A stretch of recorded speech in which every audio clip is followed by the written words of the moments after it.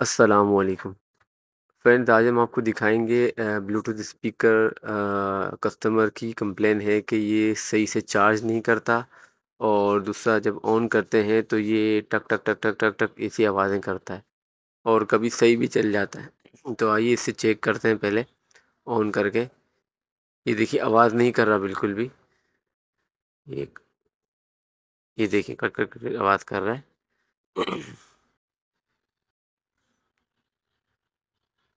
आइए अब इसको खोल लेते हैं। ये हमने इसका सर्किट निकाल लिया है और अब इस सर्किट से हम सबसे पहले जो है इसमें चेंज करेंगे। अ, वो बटन है बटन को चेंज करेंगे अक्सर एम्पेयर ना मिलने की वजह से वो बटन जो है वो फॉल्टी होता है तो इसकी वजह से प्रॉब्लम क्रिएट होती हैं। बटन निकालने से पहले आपको जो है वो अ, इसका जो कैप है ये उतार लें। और अब बटन जब डिसोल्ड करेंगे तो इसके लिए आपको जो ये वाली पिन है ब्लैक वाली, ये आपको पिन निकालनी पड़ेगी सबसे पहले, ये वाली पिन। तो ये पिन जब इसको डिसोल्ड कर देंगे तो ये देखिए मैंने डिसोल्ड कर दी इसको और अभी इजीली निकल जाएगा। शकर की मदद से मैं इसको पहले ही निकाल लेता हूँ। शक्कर यूज़ करेंगे तो काफ़ी इसमें बेहतरी आती है। ये मैंने शक्कर की मदद से डिसोल्ड कर लिया है बटन को। अब आइए बटन को निकाल लेते हैं। ये देखेंगे इतनी आसानी से निकल गया ये।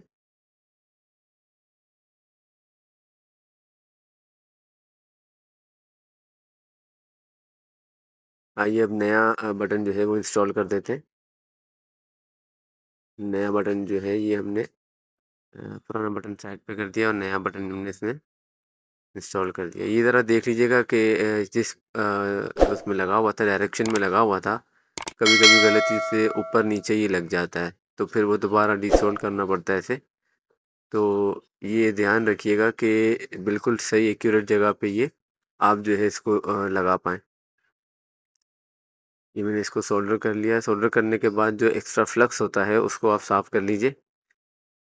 ये देखिए बिल्कुल साफ़ मैंने कर लिया इसको।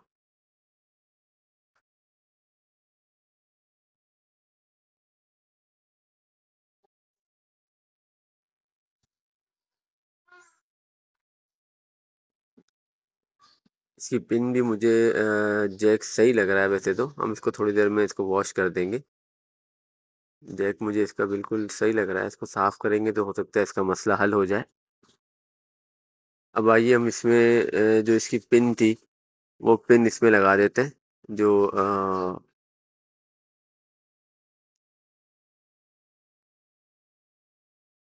ये पिन इसमें लगा देते हैं हम।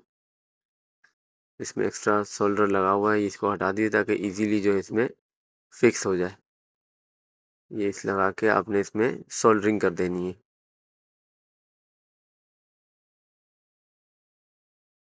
सोल्डरिंग करने के बाद ये एक्स्ट्रा फ्लक्स इसमें लगा हुआ है, जो निकालते वक्त उनमें लगाया था तो वो भी इसको हटा लीजिए, थोड़ा क्लीन हो जाएगा। नेक्स्ट टाइम जब किसी कारीगर के पास जाएगा तो उसे शिकायत नहीं होगी कि बहुत गंदा रखा था इसे।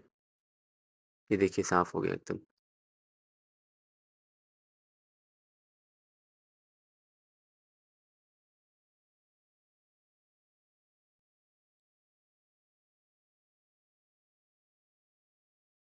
ये जेक भी हम साफ़ कर देते हैं। जेक साफ़ लग रहा है बिल्कुल।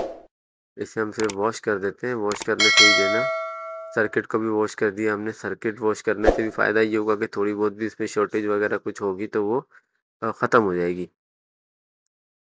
ये देखिए बिल्कुल साफ़ नीट एंड क्लीन हो गया।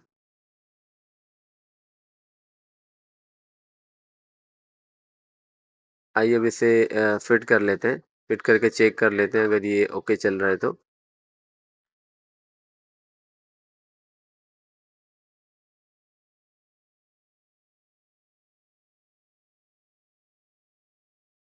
दोस्तों, मेरी वीडियो को लाइक, शेयर और सब्सक्राइब करें और बेल का आइकन ज़रूर दबा दें।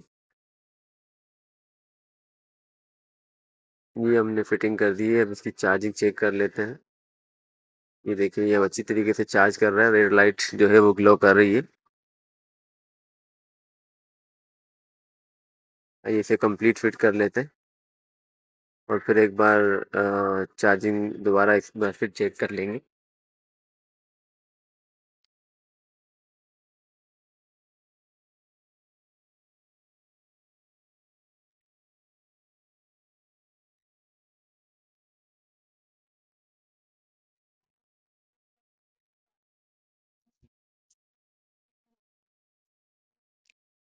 इसे हमने फिट कर लिया है।